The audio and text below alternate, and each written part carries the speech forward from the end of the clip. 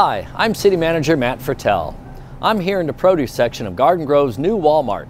They have groceries, furniture, electronics, and everything you can imagine.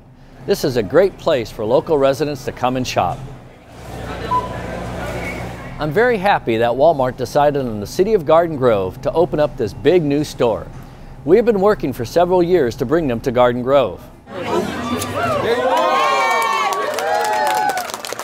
Walmart held their ribbon cutting in July of this year where they gave thousands of dollars to local nonprofits, helping people right here in Garden Grove.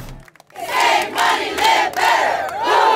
we talked with some people who are very happy to have this Walmart to shop so close to their homes, and others who are glad to have jobs in this store. I also expect an increase in shoppers coming to Walmart will benefit other businesses in the Promenade Shopping Center. If you've been in the city for a while, you know this is where Costco used to be. Since they moved to their current location on Garden Grove Boulevard in 1995, this building has been vacant. So it's also nice to have a sales tax paying business back in this location.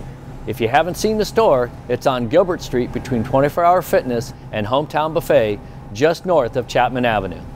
Convenient shopping, hundreds of jobs, helpful local organizations, increased business, and more tax money for the city. This new Walmart is a welcome addition. It's hard to believe this year has gone by so fast. In my next message, I will let you know how you can help your city during the holidays. Until next time, thank you for doing your part to make Garden Grove great.